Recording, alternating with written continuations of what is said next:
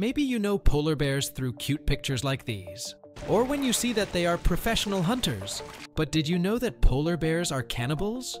Why do they do that? This is due to a number of factors such as scarcity of resources in an environment with limited food sources. Climate change and its impact on sea ice conditions affect the ability to hunt seals, the main prey of polar bears, or human disturbances in the Arctic, such as shipping, oil and gas exploration and tourism, can disrupt polar bear habitat.